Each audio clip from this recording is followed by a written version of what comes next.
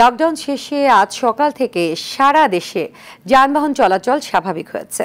এতে রাজধানী ও এর আশেপাশে বিভিন্ন সড়ক, মহাসড়কে যানবাহনের চাপ বেড়েছে। শহরের ভেতরে গণপরিবহন বাড়ার পাশাপাশি ঢাকা, ময়মনসিংহ, ঢাকা, টাঙ্গাইল, ঢাকা, চট্টগ্রাম সহ বিভিন্ন মহাসড়কে বাড়তি যানবাহন চলাচল করছে। এছাড়াও সকাল থেকে বাস স্ট্যান্ড ও কাউন্টারগুলোতে যাত্রীদের উপচে পড়া ভিড় দেখা গেছে। আন্তজেলা রুটে আসন সংখ্যার চেয়ে অতিরিক্ত যাত্রী পরিবহন করা হচ্ছে। বেশিরভাগের মধ্যেই নেই স্বাস্থ্যবিধি মানার কোনো বালাই।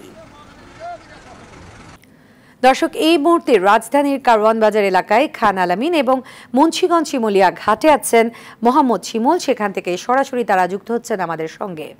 আলামিন সড়কে গাড়ির চাপ কেমন দেখছেন আপনি? আর অর্ধেক গণপরিবহন চলার বিষয়টি কীভাবে তদারকি করা হচ্ছে বিস্তারিত বলবেন।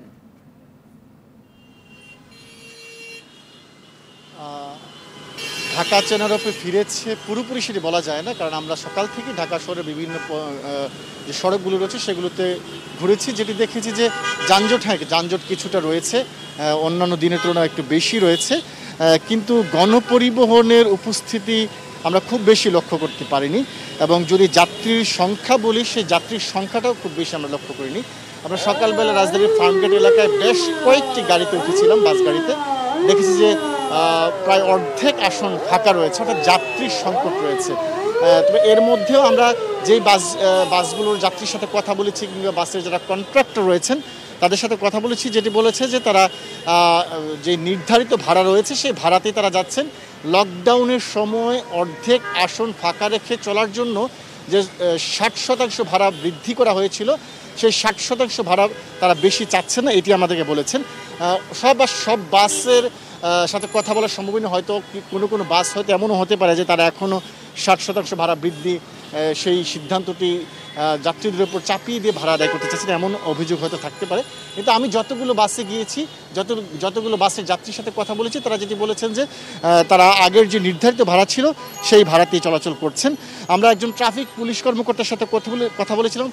তার ভাষায় বিষয়টি এমন ছিল যে, এখন হাফ লকডাউন চলছে সেমি লকডাউন চলছে। অর্থাৎ লকডাউনের সময় হয়তো গণপরিবহন ছিল না, কিন্তু সব ধরনের যানবাহনের চলাচল কিন্তু ছিল।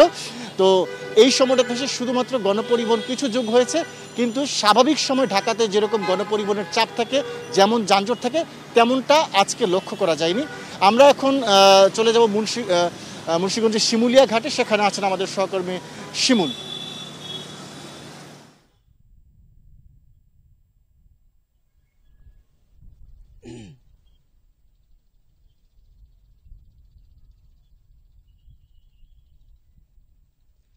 খানাবিন আপনাকে ধন্যবাদ যে এই শিমুলিয়া বাংলা বাজার নৌ রুটে আজকে সকাল থেকে কিন্তু উপচে পড়া ভিড় রয়েছে।